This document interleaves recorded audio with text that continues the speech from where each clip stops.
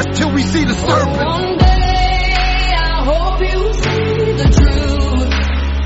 This puppet show stays on because of you.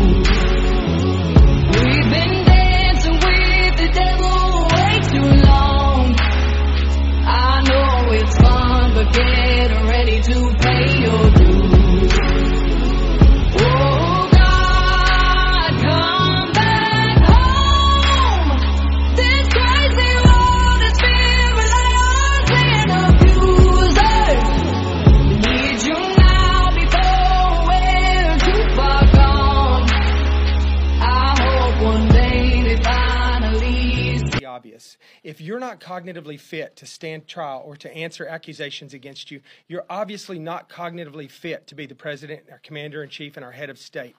And I, I, I think that you know we, uh, we we have to at this particular point we have to start asking the hard questions. I'm glad to see that some of the press is starting to do that. Uh, you know I've been saying individually for a long time since he was candidate Joe Biden uh, that uh, this man's not cognitively fit to be our, our head of state and our commander in chief. Uh, we've had lots of evidence of that since then. Uh, a lot of people are starting to see that. Now we have the Hur reports coming out, which is a completely different angle on this, an objective report uh, from a member from from an appointee of his own DOJ, from his own administration, that's saying that he's not cognitively fit uh, to do his job. Uh, and uh, I think that you know when he when the president got up the other day and, and tried to speak to the nation, he just reiterated and reinforced the idea that uh, we are in trouble in this country right now from a leadership standpoint.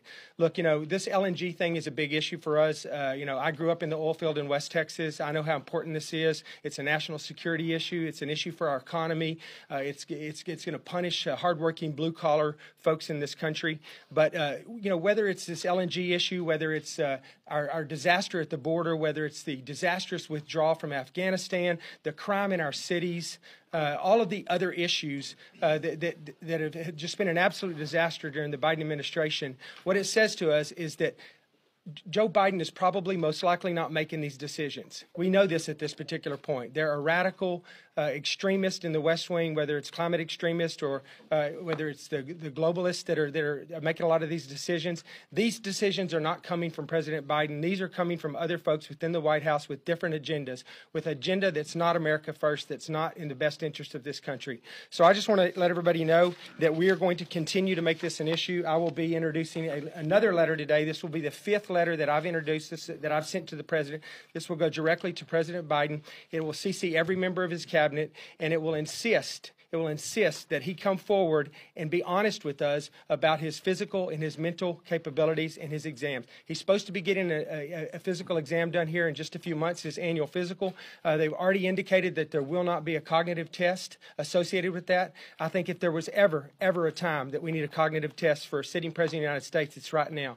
And as you remember, President Trump got one. I think he set the precedent. It was a large part because of the press, uh, his insistence that he have that included as part of his physical exam. I would like to see that same type of enthusiasm and insistence from the press right now that President Biden submit to a cognitive exam as part of his physical exam. And if he thinks he's fit to lead this country, prove it to us with some objective data that says so.